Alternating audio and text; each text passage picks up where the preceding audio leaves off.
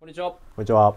はい、えー、それでは今日も撮っていきたいと思います。よろしくお願いします。よろしくお願いします。はい、えー、昨日に引き続きちょっとはい夏にね、おすすめなメガネご紹介しようかなと思ってます。はい。えー、引き続きブランドはバディオプティカルはい。です。えー昨日はですね、ワンブリッジのエモリーというタイプをご紹介したんですけれども、まあ今日はツーブリッジ型はい。と呼ばれるモデルですね。まあどうでしょう、えー我々世代からすると少しこう、懐かしさのあるというか、そうですね。はいはい。まあ、逆にねこれが今かけるとすごくモダンなのかなというところで、えー仕入れているんですけれども、えー今回こちらに関しては、まあ、オールチタン、はい。はい、ですなので、あのー非常にメタルフレームですけどもう軽い、軽いですね。はいはい。まあ、岡本さんちょっと型違いで同じ素材使ったメガネかけてますけどはい。非常に軽いですめちゃくちゃ楽です。はいはい。なので普段こうメガネをあまりかけないうん。かけられない方に関してはこの辺は非常にかけやすいのかなと思いますね。はい。ストレスはいが本当に少ないと思いはいます。はいノンス。トレスです。で昨日の、まあ、ワンブリッジのエモリーというのも、まあ、少し癖のある形ではあるんですけど、はい。まあ、ツーブリッジっていうのはだいぶ印象がガラッとうん。変わるかなと思います。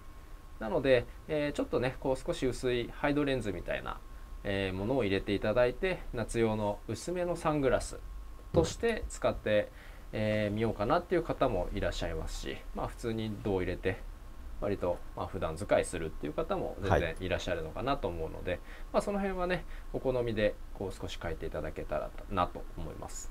まあ、この辺もどうでしょうかけるとだいぶ印象が変わるのではいち。ょっとかけた感じっていうのを今日は撮っていこうかなと思います。はいじゃあかけてみたいと思います。はい、えー岡本さんが今かけたのがゴールド。はい。はい。ゴールドですね。このゴールドはどちらかというと少しだけあの黄色が入るような、そんなイメージかなと。うん。エモリーのゴールドとちょっと違うちょっと違う色味ですね。はい。はい、えーまあ、なので、まあ、ツーブリッジっていうのもありますしこのゴールドっていうのもあるので、まあ、非常に色っぽいというかまあそうですね。うんなんなんていうんだろうね。ちょっとまあ存在感が独特ね、の雰囲気っていうのが出るのかなと思いますね。はいまあ、どうしてもねメガネっていうとこうシルバーとかうん。ちょっとこうグレーとか黒とかはい少し落ち着いた印象を選びがちうんかなと思うんですけど、意外とこう、まあ、日本人のはい。こういうちょっとね黄色系の肌には、えーゴールドというのは実はうん馴染みがはい。いいすごくと馴染いいとみやす。い思いまあ、我々はいはずっと販売しながら言ってはいるんですけど、どうしてもゴールドっていうと少し難しいイメージがはい。皆さんあるかなと思います、特にまあこのツーブリッジっていう時点でだいぶあの難しいかなっていうふうに思われるとは思うんですけどなんかこうね少し普段と印象を変えるっていうところのメガネの役割としては非常にいいんじゃないかなと、はい。はい、思ってこのゴールドも仕入れております。はい、じゃあまた色違いをかけてみます。はい。えっ、と今鈴木さんがかけているのが、えーマットチタニウムというカラーですね。えーチタンの素材そのもののこう色をすごく活かして、まあ、マットに仕上げているっていう、えーカラーになります。なまあ、なのであのツヤ感もなくて、まあ、非常にこうマットで、えー馴染みやすいイメージかなと思います。あんまりこうギラッとしたイメージはないので、まあ、先ほどのゴールドとは非常に対照的なカラーかなと思います。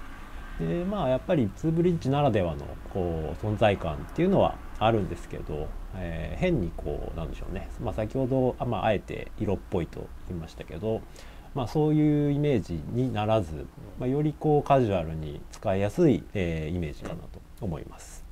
まあ、非常にねあのちょっとツヤ感苦手だなっていう方とかもぜひあの試していただきたいですし、まあ、ちょっと80年代っぽいイメージの形ではあるんですけど、えーまあ、現代的な、えー、メガネに仕上がっていると思うので、まあ、ぜひお試しいただけたらと思います。なんかね非常にアーミーっぽさもあってはい、なんかねそういう今洋服的にもそういうのがまあなんでしょうよく取り入れられることも多いと思うので、軍物ネタとかね、うん。そうですね、はい。なんかその辺をこううまく組み合わせてみるっていうのも面白いのかなとは思います。はい